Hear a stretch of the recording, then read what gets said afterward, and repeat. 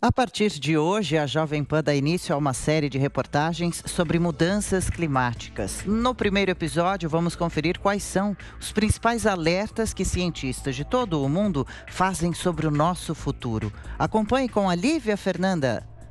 Colapso do meio ambiente. Calor extremo. Novas pandemias. Falta de alimentos e cidades ameaçadas pelo aumento do nível do mar. Parece roteiro de ficção, mas os impactos climáticos devastadores podem se tornar reais nos próximos 30 anos, alerta o relatório do painel intergovernamental sobre mudanças climáticas. Desde 1988, o órgão consultivo da Organização das Nações Unidas fornece as avaliações científicas mais confiáveis do mundo sobre o tema. Pesquisadores de 90 países trabalham no sexto relatório de avaliação do IPCC, que será publicado oficialmente em 2022. O documento de 4 mil páginas influencia as decisões políticas de 193 países membros da ONU. Mas cientistas alertam que, se quisermos diminuir os impactos de um futuro sombrio, mudanças efetivas precisam ser feitas agora. Dentro da história de 4,5 bilhões de anos, o planeta Terra experimentou eras de menor e maior calor. Porém, as ações humanas têm acelerado as mudanças climáticas. Como explica o coordenador geral de pesquisa e desenvolvimento no CEMADEM e membro do IPCC, José Antônio Marengo.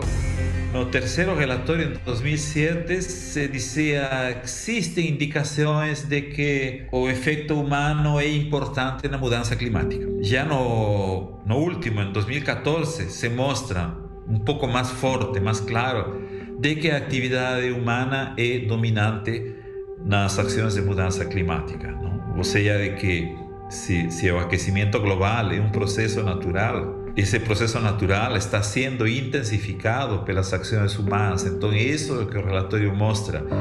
Uma década atrás, os cientistas acreditavam que limitar o aquecimento global em 2 graus Celsius seria o suficiente para salvar o nosso futuro.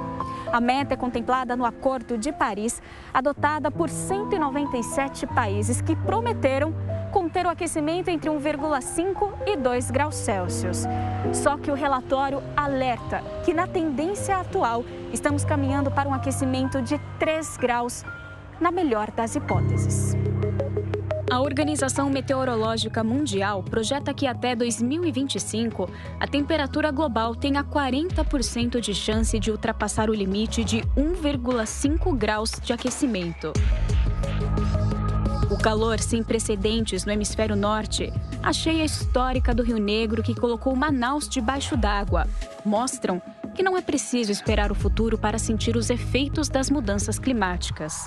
De acordo com o meteorologista da Climatempo, Pedro Regoto, algumas barreiras já foram ultrapassadas. Então, por exemplo, hoje, com o aquecimento que nós temos, a Groenlândia ela não consegue mais fazer sua manutenção né, e sustentação da sua camada de gelo. Então, se o planeta Terra ele tem um aquecimento muito grande, muito acentuado, toda a energética da Terra ela é maior. E se a energética da Terra é maior, todos os movimentos podem também ser mais intensos. O pior ainda está por vir e afetará as vidas dos nossos filhos e netos muito mais do que as nossas. Para José Antônio Marengo, a frase de impacto do relatório revela o tom das projeções que foram aceleradas pela pandemia. Que nós já estamos vivendo essas inseguranças no momento e agravados com a crise da Covid, né?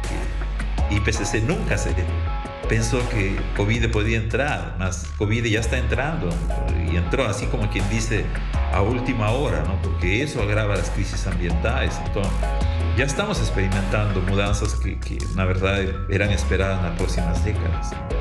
Em resposta ao documento do IPCC, a jovem ativista sueca Greta Thunberg diz que é hora de agir em vez de procurar culpados.